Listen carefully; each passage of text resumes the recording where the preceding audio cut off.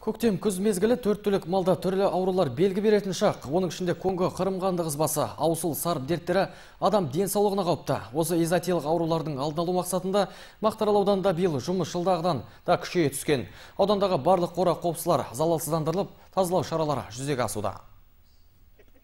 Биыл Мақтаралда энзоотикалық аурулардың алдын алу мақсатында күз айларына жоспарланған 101.536 бас ірі қара малдың 56.016-сы бүркілді.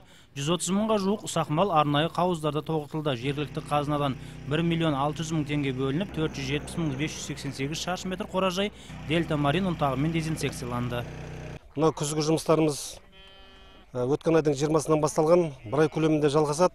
Үкімет тарапынан ветеринария саласына барлық қолдаулар болып жатыр 2013 жылы біздің ауданымызға 20 ауыл әкімшілігіне 20 автокөлік берген ол мына біздің мамандардың жұмысты ұйымдастыруына дер кезінде жеткен өте, өте пайдалы Баққоныс ауылының тұрғыны Сейілбай Есебековтің қорасында онға тарта ірілі ұсақ малы бар. Осындай шаралардың арқасында төрт түлігіміздің де өзіміздің де деніміз сау дейді жергілікті тұрғындар.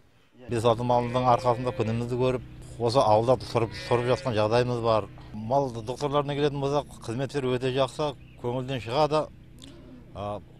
Ай сайын бір екі мәрте келіп әйтеуір мына малдың бәріне қарап уколдарын салып мемлекеттің мына беріп тұрған жәрдем тегін дәрілерінің бәрін пайдаланып тек қана алғыс айтамыз бұл.